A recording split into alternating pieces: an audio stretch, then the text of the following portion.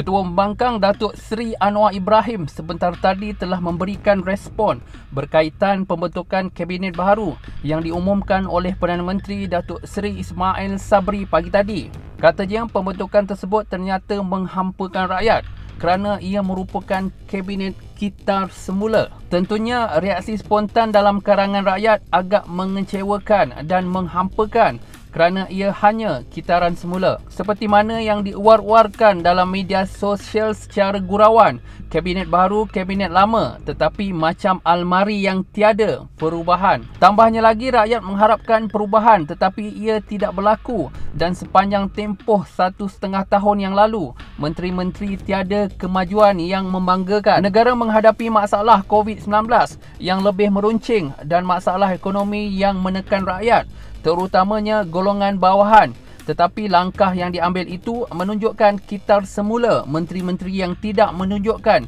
keupayaan menangani masalah ini secara berkesan. Oleh itu sambutan rakyat itu sangat menghampakan. Apa yang kita harapkan ialah satu perubahan tetapi ia tidak berlaku. Disebabkan itu beliau sebagai ketua pembangkang menegaskan bahawa mereka akan tetap memantau dan menyuarakan pendapat dengan lantang jika tiada sebarang program pelaksanaan yang lebih mantap untuk menangani COVID-19 dan mengubah kehidupan rakyat. Justru kami sebagai pembangkang akan tetap secara lantang memantau, menyuarakan dan membantah sekiranya tiada program pelaksanaan yang lebih mantap dan berkesan untuk menangani masalah COVID-19 dan membawa perubahan terhadap kehidupan rakyat. Perkara tersebut telah dimaklumkan menerusi video yang dibuat naik di Facebook rasmi miliknya sebentar tadi.